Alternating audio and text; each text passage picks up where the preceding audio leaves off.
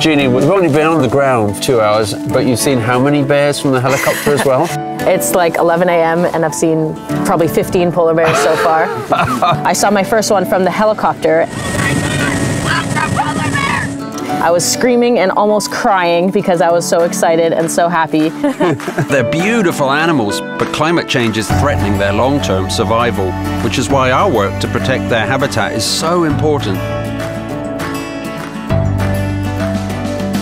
In fact, the longer it takes for the sea ice to form, the harder it becomes for the polar bear.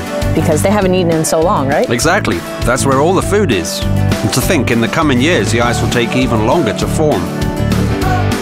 We're very important for the polar bears. We have a responsibility to make sure that their population stays as big as can be.